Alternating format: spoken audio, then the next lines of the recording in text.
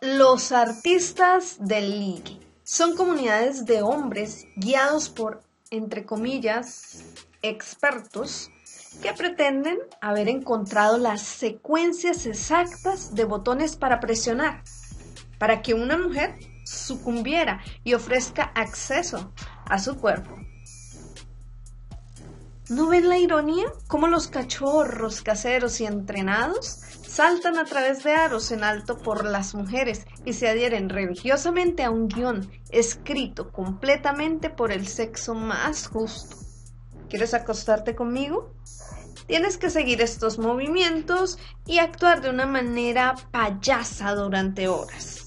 Se les tiene un menos respeto por los incels, que se desprecian a sí mismos y se odian a sí mismos, quienes se quejan constante y patéticamente sobre ser rechazados por las mujeres, y como tienen un derecho al sexo otorgado por Dios, entonces va a ser por la fuerza si es necesario. Hablamos de los Black Pillars.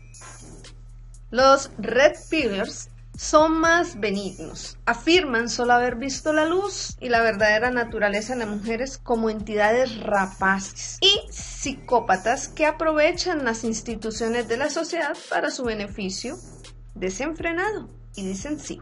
La extensión lógica de esta supuesta simetría de poder es evitar todas las relaciones comprometidas. El sexo casual está bien para estas comunidades. No hay duda de que los roles de género tradicionales están muertos y que el sexo se ha convertido simplemente en una fusión física que ya no está asociada con la intimidad. Tanto hombres como mujeres se sienten desorientados y pasados por alto en esta vorágine de vértigo de género